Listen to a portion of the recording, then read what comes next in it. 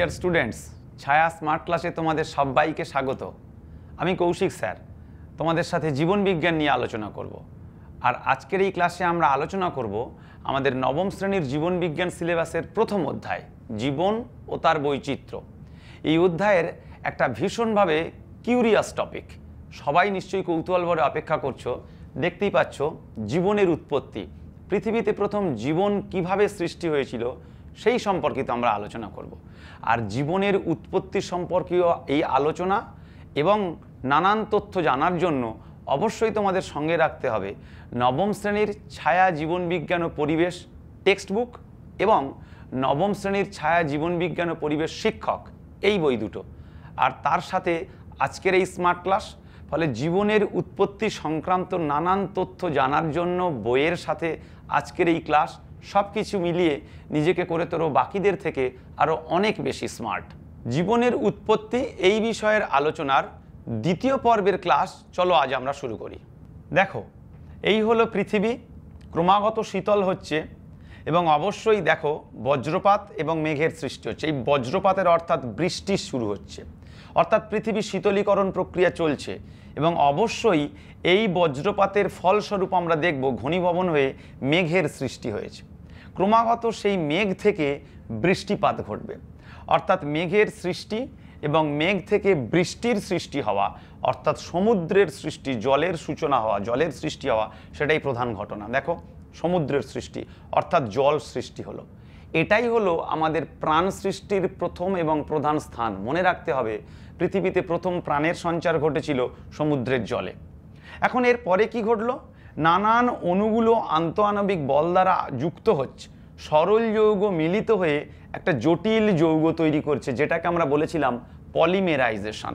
এই হলো সেই পলিমেরাইজেশনের প্রক্রিয়া, যেখানে অ্যামাইনো অ্যাসিড থেকে প্রোটিন তৈরি হচ্ছে, সরল শর্করা থেকে জটিল শর্করা তৈরি হচ্ছে, অথবা ফ্যাটি অ্যাসিড এবং গ্লিসারল মিলিত হয়ে ফ্যাট বা লিপিড তৈরি করছে।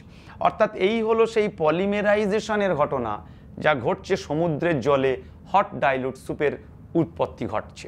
এখন আমরা দেখব ওই হট ডাইলুট স্যুপের পরে ঠিক কী ঘটনা ঘটলো, প্রাণ কীভাবে এলো, সেটা আমরা চলো একটু দেখে নিই। ওই জটিল যৌগগুলো তারা একে অপরের প্রতি আন্তঃআণবিক বল দ্বারা আকর্ষিত হলো। অর্থাৎ সরল যৌগ থেকে পলিমেরাইজেশন দ্বারা জটিল যৌগ সৃষ্টি হলো। আর সেই জটিল যৌগগুলো একে অপরের প্রতি আন্তঃআণবিক বল দ্বারা আকর্ষিত হলো। ফলে কি তৈরি হলো? ফলে যে গঠন তৈরি হলো তার নামটা জেনে রাখতে হবে এবং সেই নামটা দিয়েছিলেন যে বিজ্ঞানী তার নামও জেনে রাখতে হবে। এই দুটোই কিন্তু এক্সাম পারপাসে ভীষণ গুরুত্বপূর্ণ। কি তৈরি হলো? যে গঠনটা তৈরি হলো তার নাম কোয়াসারভেট। কোয়াসারভেট তৈরি হলো। এই কোয়াসারভেট শব্দটা প্রবর্তন করেছিলেন বা দিয়েছিলেন বিজ্ঞানী ওপারিন। অর্থাৎ বিজ্ঞানী ওপারিনের মতে, পলিমেরাইজেশনের ফলে সৃষ্ট জটিল যৌগ আর সেই জটিল যৌগগুলো পরস্পর যুক্ত হয়ে তৈরি করল কোয়াসারভেট কোয়াসারভেট কি? প্রথম বৈশিষ্ট্য বলি কোয়াসারভেট হলো একটা কোলয়েড জাতীয় কণা। কোলয়েড কি? স্বচ্ছ নয়, একটা অস্বচ্ছ বা ঘোলাটে প্রকৃতির একটা গঠন। যে কোলয়েড দানাটায় বলছি, দেখতে হয় গোলাকার। প্রধানত গোলাকৃতি একটা কোলয়েড জাতীয় দ্রবণ বা কণা, যেটা তৈরি হচ্ছে কিসের সমন্বয়ে? ওই জটিল যৌগগুলোর সমন্বয়ে, যাকে বিজ্ঞানী ওপারিন বলছেন কোয়াসার্ভেট কিন্তু মনে রাখতে হবে, এই কোয়াসার্ভেট গঠিত হচ্ছে কোথায়? সমুদ্রের জলে, হট ডাইলুট সুপে অর্থাৎ হট ডাইলুট সুপে জটিল যৌগগুলো যুক্ত হয়ে একটা কোয়াসারভেট নামক গোলাকৃতি কোলয়েড কণা বা দানা গঠন করছে। আর এই সময়েই অ্যামাইনো অ্যাসিডগুলো তারা পরস্পর যুক্ত হয়ে পলিপেপটাইড চেন এবং প্রোটিনয়েড গঠন করছে। অর্থাৎ সমুদ্রের জলে জটিল যৌগগুলোর মিলিত হয়ে নানান গঠন সৃষ্টি করছে। তার মধ্যে ওপারিন একটার উল্লেখ করলেন কোয়াসারভেট একই সাথে পলিপেপটাইড শৃঙ্খল যুক্ত হয়ে তৈরি করেছে প্রোটিনয়েড। কিন্তু এই সময় অপর একজন বিজ্ঞানী, সিডনি ফক্স সিডনি ফক্স, তিনিও একটা গুরুত্বপূর্ণ তথ্য দিলেন। কি তথ্য? এই যে কোয়াসার্ভেট ছিল, সেই কোয়াসার্ভেটটা একটা আবরণ দ্বারা বেষ্টিত হলো। কিসের আবরণ? লিপিডের আবরণ। দেখো, লিপিড, সেটা একটা রাসায়নিক গঠন রয়েছে। আমরা কেমোজেনি মতবাদ পড়ছি। ফলে লিপিডের আবরণ বেষ্টিত একটা গঠন তৈরি করল। দ্বিস্তরীয় আবরণ। অর্থাৎ দ্বিস্তরীয় আবরণ যেটার প্রধান উপাদান লিপিড, সেটা দিয়ে একটা গঠন তৈরি করল যার বিশেষ কতগুলো বৈশিষ্ট্য বা ক্ষমতা রয়েছে। কি ক্ষমতা? গুরুত্বপূর্ণ দ্বিবিভাজনে সক্ষম। দ্বিবিভাজন কি? সাধারণভাবে একটা নির্দিষ্ট গঠন বিভাজিত হয়ে ভেঙে যদি দুটো নতুন গঠন তৈরি করে তাকেই আমরা বলি দ্বিবিভাজন। কিন্তু প্রকৃতপক্ষে দ্বিবিভাজন হলো বংশবিস্তারের একটা প্রকৃতি বা একটা পদ্ধতি। বংশবিস্তার। আমরা আগেই জেনেছি জীব আর জড়কে পৃথক করার বা পার্থক্য করার একটা গুরুত্বপূর্ণ বৈশিষ্ট্য হলো বংশবিস্তারের সক্ষমতা। অর্থাৎ বলতে চাইছি, এই মাইক্রোস্ফিয়ার নামক গঠন বংশবিস্তারে সক্ষম? এক্স্যাক্টলি তাই। দ্বিবিভাজন প্রক্রিয়ায় মাইক্রোস্ফিয়ার বংশবিস্তারের মতো ঘটনা ঘটাতে সক্ষম হলো। এবং তার সাথে বলছি এটিপি এটিপি হলো যাবতীয় শক্তির উৎস। সেই এটিপিকে ইউটিলাইজ করতে শুরু করল, ব্যবহার করতে শুরু করল। অর্থাৎ বলতে চাইছি, এই যে ওপারিন প্রদত্ত কোয়াসারভেট নামক গঠন, সেটা এখন দ্বিস্তরীয় লিপিডের আবরণ দ্বারা আবৃত হলো, বংশবিস্তারে বা দ্বিবিভাজনে সক্ষম হলো। বংশবিস্তারে যখন সক্ষম হলো, আমরা অল্প একটু হলেও এই জীবন নামক ঘটনাটার বা জীবন নামক অস্তিত্বর একটু হলেও আমরা সন্ধান পেতে চলেছি। এখন আমি বলছি এর সাথে সাথে আরও একটা ঘটনা ঘটে চলেছে। কি? আমরা যে জটিল যৌগের মধ্যে পড়েছিলাম পিউরিন, পিরিমিডিন প্রভৃতি নাইট্রোজেন ক্ষার, তারা একে অপরের সাথে যুক্ত হচ্ছে এবং তৈরি করছে নগ্ন জিন বা ন্যাকেড জিন, যেটা প্রকৃতপক্ষে আরএনএ। অর্থাৎ আমরা এই শব্দগুলো দ্বারা, বৈশিষ্ট্যগুলো দ্বারা একটু হলেও আন্দাজ করতে পারছি যে জীবন সৃষ্টির মতো পরিবেশ কিন্তু এখন উপস্থিত হয়েছে পৃথিবীর সেই আদিম পরিবেশে। উষ্ণতা কমছে, এমন কিছু গঠন আমরা পাচ্ছি যা বংশ বিস্তারের মতো ঘটনা ঘটাতে সক্ষম হচ্ছে।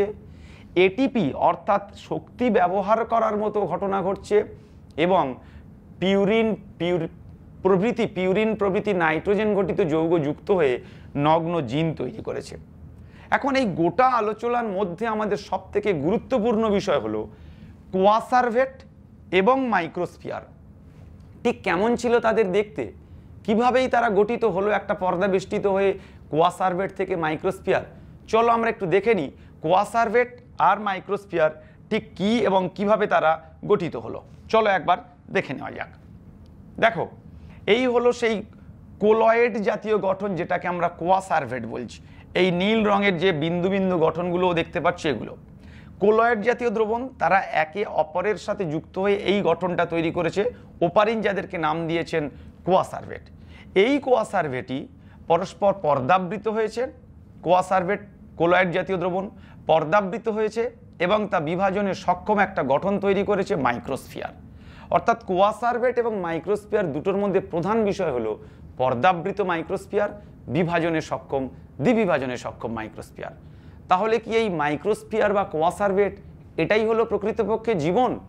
হয়তো জীবনের সূত্রপাত। কিন্তু জীবন বা কোষ ঠিক এই দুটো থেকে কীভাবে সৃষ্টি হলো?